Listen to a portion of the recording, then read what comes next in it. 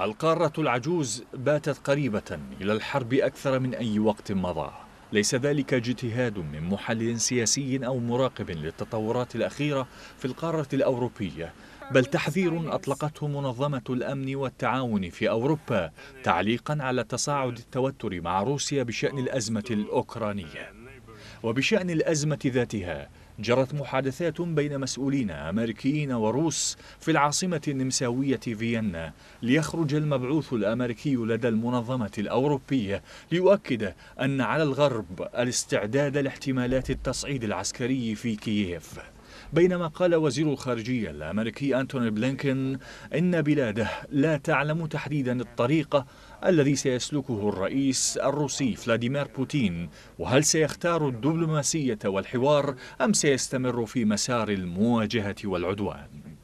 التصريحات الأوروبية والأمريكية القريبة من التشاؤم تأتي بالتزامن مع مقترح تقدم به أعضاء ديمقراطيون بمجلس الشيوخ الأمريكي ينص على فرض عقوبات على الرئيس الروسي ومساعديه وتقديم مساعدات مالية وعسكرية لكييف من أجل التعامل مع الغزو الروسي المحتمل.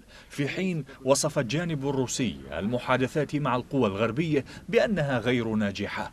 وصف عززته تصريحات وزير الخارجية سيرجي لافروف التي أكد خلالها أن روسيا مستعدة لكافة الاحتمالات في ملف التوتر مع الغرب متهما حلف الناتو بتعزيز وجوده العسكري قرب الحدود الروسية.